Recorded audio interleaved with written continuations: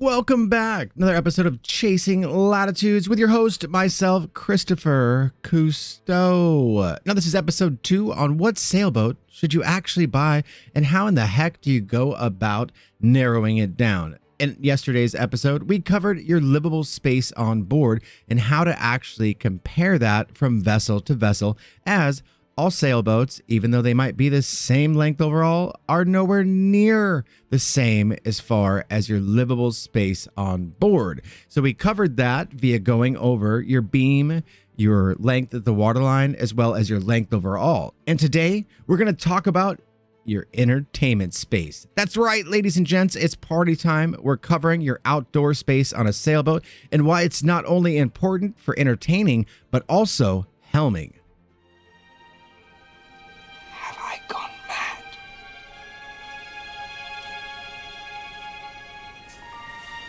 So. You're entirely bonkers. But I'll tell you a secret. All the best people are.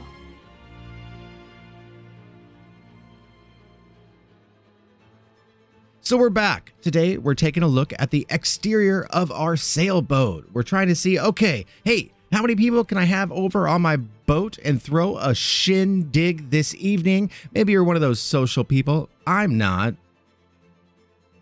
but maybe you are. And in reality, the entertainment capabilities of your sailboat are not nearly as important when it comes to the exterior as several other factors. And we're going to go over all of those today. There's a whole bunch to cover. Let's get started. Now, first up, here we are. We're walking to our new fancy dancy used sailboat. Oh, check it out, babe. Things are amazing. Whoops, bought myself a canoe stern. Don't mind the ladder. Let's just nimbly hop right up this thing. You know what I just did like two months ago? I was in uh, Antigua, St. Lucia. I was somewhere on a delivery, did that exact same step, missed the darn dock, slipped through between, tore my darn MCL, haven't been able to walk right since. So first up, we need to look at our ease of access onto and off of a sailboat, not only on the dock, but also at sea. Now, we're going to plop right on over to Yacht World, take a look at a few vessels. Now, first up, we have a Pacific Seacraft 34. I'm simply using this as an example. Now, if we click on this, this is what's considered a canoe stern. As you can see, the back of the vessel comes to a pretty sharp point, creating what resembles a canoe. Now, the issue with these boats, first of all, it's a horribly, horribly outdated design overall. Now, if you see this boat right here at the dock, as we scroll through some of these photos, maybe we can get more than one exterior.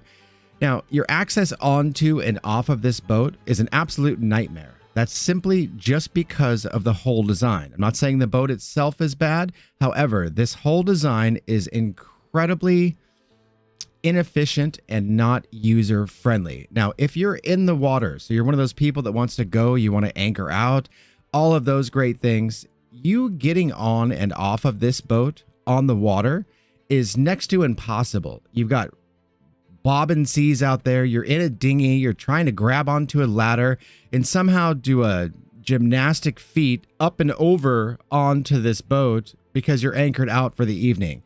It is horrible. Now, if you're trying to save money, you're going to be anchored out. You're going to be out there. You're going to be going back and forth to shore on your dinghy. You're going to be grabbing provisions. You're going to be looking to try to make your life as comfortable as possible. And that involves going back and forth to shore. And this is going to create a giant hurdle in the process. Canoe stern. I would never, ever, ever recommend a canoe stern. You're simply going to hurt yourself. Not only the fact that it's a canoe stern, your access into and out of the boat at the dock and on the water is next to impossible.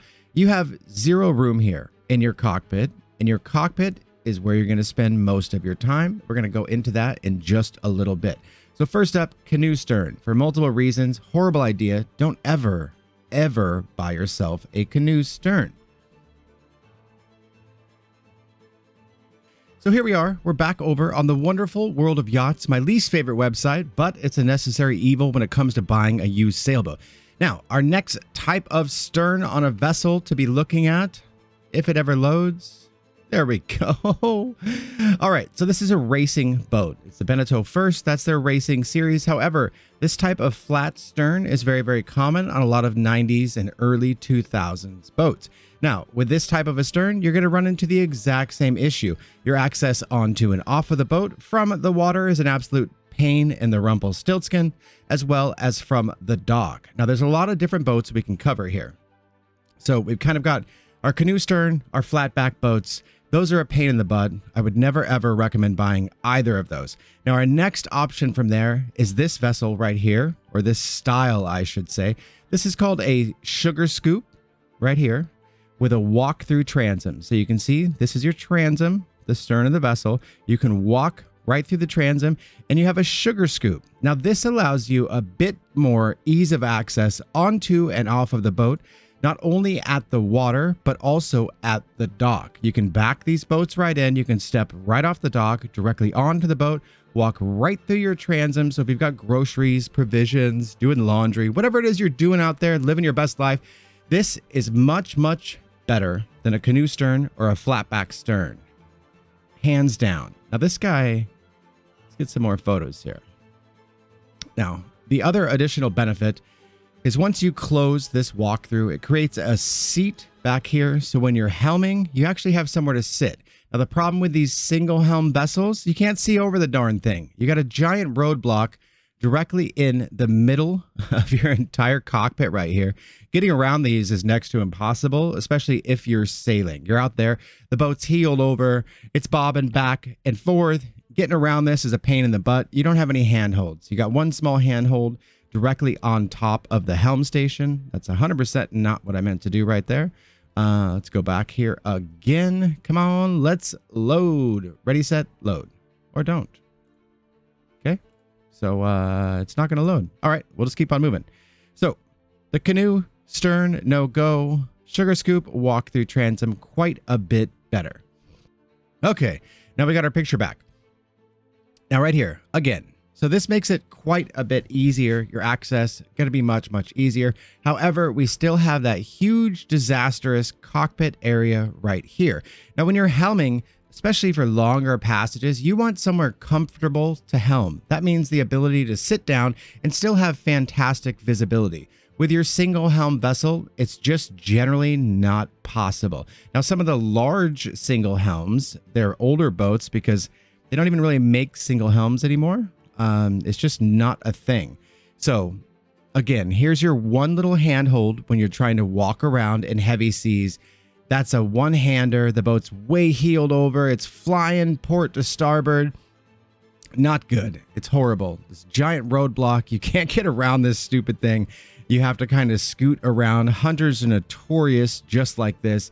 It's a giant pain in the butt, but we do get some benefits. So it is better than the canoe stern or the flatback stern.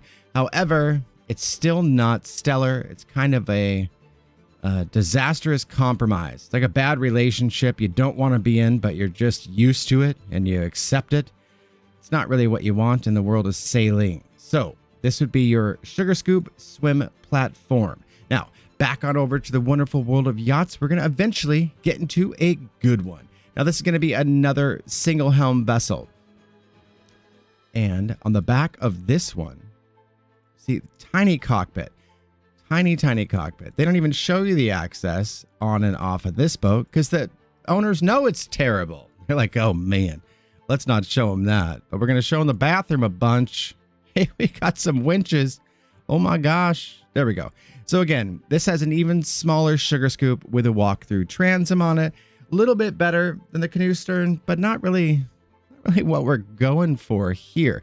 So a lot of the single helm vessels that you're going to find, they're all going to look very, very similar, just like that. Some sort of a version. Hunters are notorious for doing those those uh, single helms with a giant roadblock in the middle. Hunters generally good at your livable space on board, but you compromise a lot. Again, we got no space to go around this helming station. Our one handhold is right here. We're going to be flailing over to the side in rough seas when we're just trying to get back to take our night watch. Little tiny sugar scoop, better than a canoe stern, but still not the jam that we're after. So let's keep on cruising here. This is a large sugar scoop on this Hunter 326 right there. This is kind of a racer hybrid, but again, we got some steps there, not a walk-through transom on that one, just steps. Sugar scoop, all that good stuff. We're going to have to go up a bit in price to kind of see what exactly we're after. Now, this is really what, in my opinion, you want to go for. We're going to let that load because it's going to sit there for the next 200 years trying to load the Jeanneau Sun Odyssey 389. So here we are. It's actually loaded. The Jeanneau 389. Now this, in my opinion, is what you should always go for when you're looking for a long-term comfortable vessel. We want a dual helm vessel. Now, there's a lot of places to sit here. You can actually sleep right by the helm station on longer passages.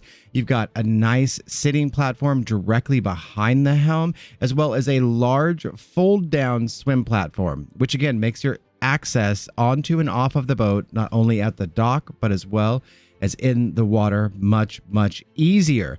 This back part right here, this actually creates one large sitting area right there, which is amazing.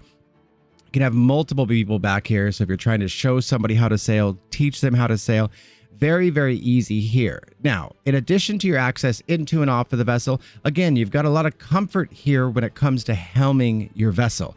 Very, very easy. You can sit down, long passages, very easy right here. You can use this as a backrest, get yourself one of those little captain's chairs, toss it right in the corner. You're comfy, comfy, comfy, no problem.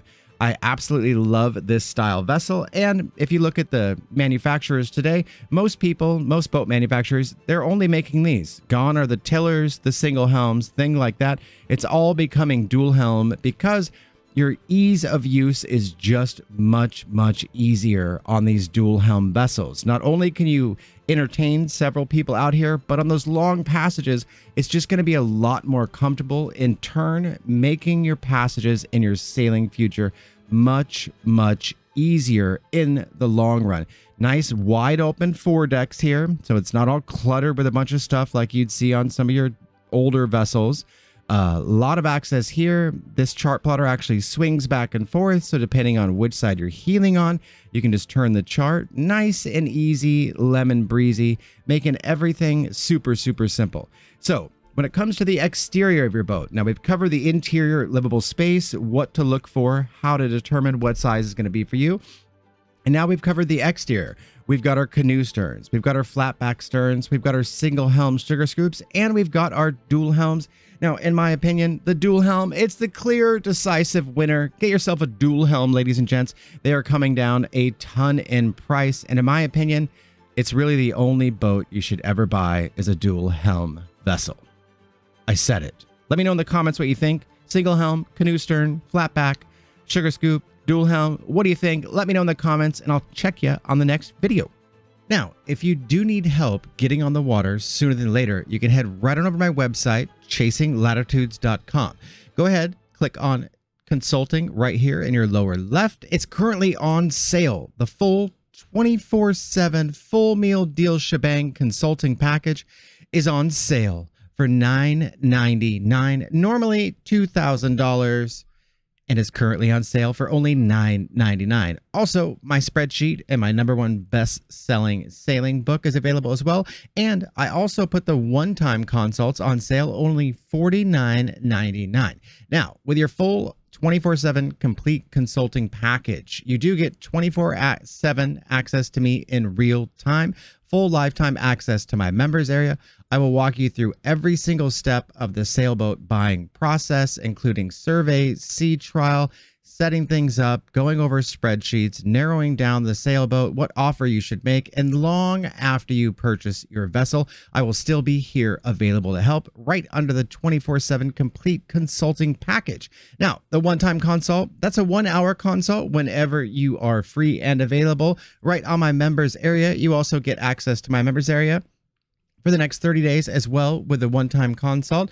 And that's just to go over any boat or any questions you might have in the world of sailing. Maybe you're thinking about getting started. Maybe you've got a boat that you're interested in. Who knows? It's super, super cheap right now at only $49.99 and well worth just the month access to the members area, let alone the consulting as well in addition to that. Now, while you're on my website, you can also check out some of my apparel if you want to, if that's your thing, it's up there. But really, the main reason for this is my consulting is on sale. So if you need help getting on the water sooner than later, head on over to my website, chasinglatitudes.com, sign up for some consulting. Let's get you over to the members area and get you on the water sooner than later.